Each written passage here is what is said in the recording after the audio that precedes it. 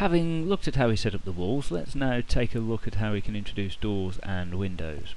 So we start with a width. We can either type directly into the dialog there or choose from the drop down list. So that defines the opening width for the opening itself rather than just the door.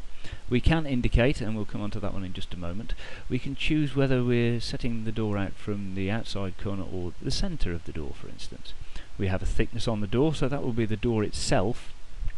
Um, so if you want a thickness shown, we can determine whether we have a plastic thermal type closer or just a, a traditional return the inner leaf. We can choose whether we want arcs or lines.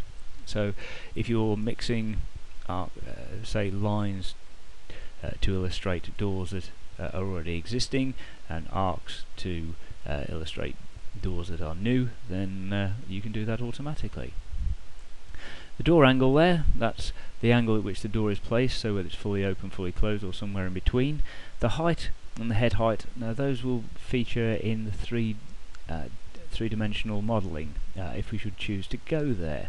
Uh, at the moment we're just restricting ourselves to 2D here.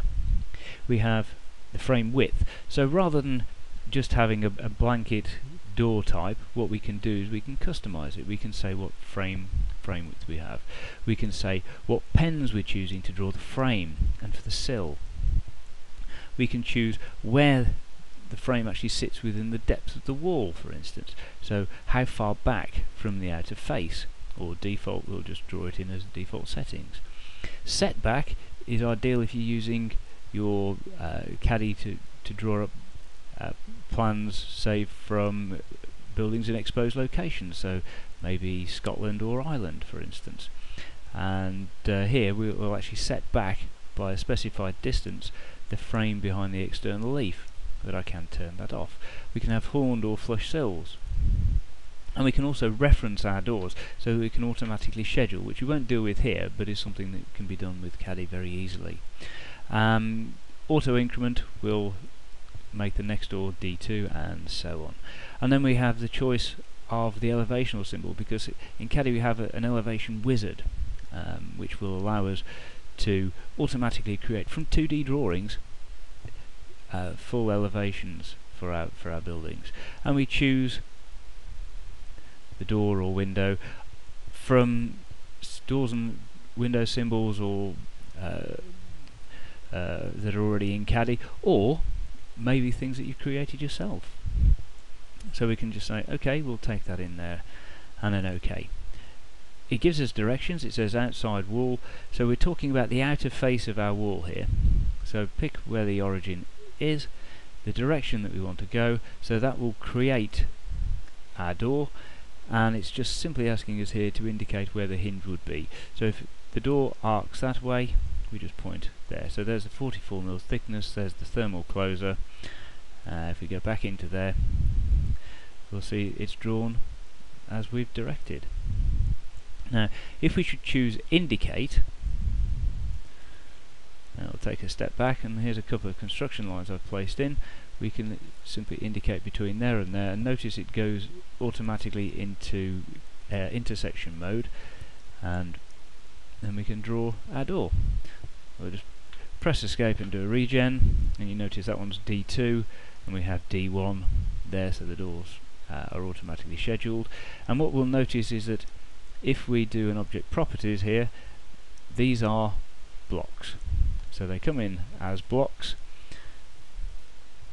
So it's gone to the active layer there.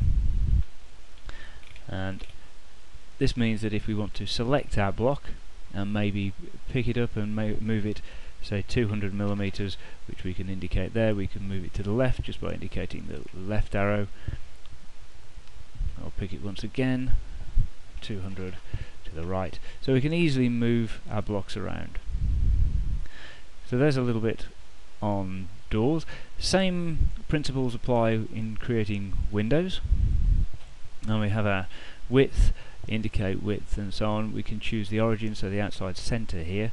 Uh, we have an extra uh, section in here for mullion parameters because if you're doing long runs of windows you may not know precisely how many mullions are in there uh, or, or, want to calculate it you can simply say every 600 millimeters give me a mullion.